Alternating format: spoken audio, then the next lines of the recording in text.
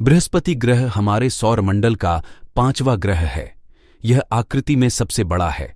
बृहस्पति ग्रह के पास बहुत सारे चंद्रमा हैं जो हर वक्त इसके चक्कर लगाते रहते हैं। यह ग्रह सूर्य से पाँचवें नंबर पर आता है। बृहस्पति ग्रह इतना बड़ा है कि यदि पूरे सौरमंडल के सारे ग्रह को मिला दिए जाएँ, सूर्य को छोड़कर तो भी यह उससे लगभग ढाई गुना ज़्यादा बढ़ा होगा। बृहस्पति ग्रह के पास में बड़ा ही ताकतवर गुरुत्वाकर्षण बल है, जो पृथ्वी से भी कई गुना ज़्यादा है, अर्थात वहाँ पर सामान्य चीज़ें भी पृथ्वी से कई गुना भारी होती हैं। बृहस्पति ग्रह पर एक बहुत बड़ा लाल धब्बा दिखाई देता है, जिसे ग्रेट रेड स्पॉट भी कहा जाता है। यह एक प्रकार का भयंकर तूफ़ान है, जो लगभग सत्रह शताब्दी से देखा जा रहा है। यह सत्रहवीं शताब्दी से पहले नहीं देखा गया था। यह लाल तूफ़ान लगभग 350 सालों से ऐसे ही एक्टिव है।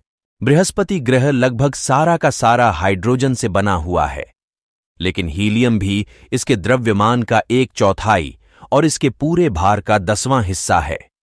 इसमें चट्टान की परत होने की पूरी संभावना है, लेकिन दूर से देखने पर पता चलता है कि बृहस्पति ग्रह पर एक ठोस सतह का पूरा अभाव है। अगर हम यह कहें कि बृहस्पति ग्रह सौरमंडल में सभी ग्रहों में से सबसे तेज घूमता है तो यह गलत नहीं होगा। बृहस्पति ग्रह के चारों ओर छोटे छोटे ग्रहों की एक शक्तिशाली चुंबकीय प्रणाली है, जो कि एक घेरे के आकार में है। अगर इसे दूसरे शब्दों में कहा जाए तो यहाँ पर दिन और रात सबसे कम समय के होते हैं, अर्थात बृहस्पति ग्रह पर मात्र नौ घंटे पचपन मिनट के अंदर अपना पूरा चक्कर लगा लेता है। बृहस्पति ग्रह की पूंछ की लंबाई शनि ग्रह की पूरी कक्षा के बराबर है। बृहस्पति ग्रह के तकरीबन 80 से ज़्यादा चंद्रमा उपग्रह है। बृहस्पति ग्रह सौरमंडल के सभी ग्रहों में से सूर्य को छोड़कर सबसे पुराना ग्रह है। बृहस्पति ग्रह सबसे तेज़ी से घूमता है इसी वजह से यह थोड़ा छपटा भी है। बृहस्पति ग्रह का व्यास एक लाख बयालीस हज़ार नौ सौ चौरासी किलोमीटर का है।